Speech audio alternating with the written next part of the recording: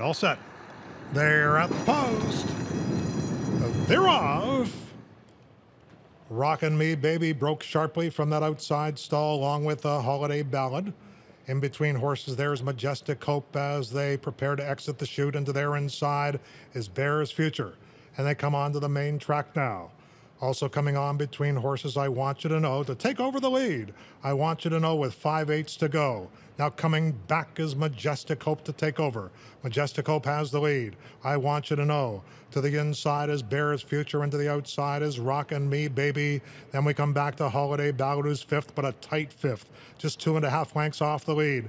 Then Run to the Bank, who drafts in behind horses, followed by Destiny's Song and Village Drive, and they head into the far turn and it's Bears Future and Luis Contreras a half a length. Majestic Hope is in between horses, and on the outside is Rockin' Me Baby. Just in behind runners, I want you to know who's angling off the rail, run to the bank trying to launch a bid, but they have to catch Bears Future as they turn for home.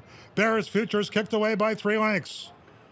Run to the bank on the outside. Second, Destiny's Song is starting to close resolutely. Here comes Destiny's Song for Jermaine Bridgmohan to cover the leader at the 16th pole. And it's Destiny's Song at 7 to 1 in the sixth.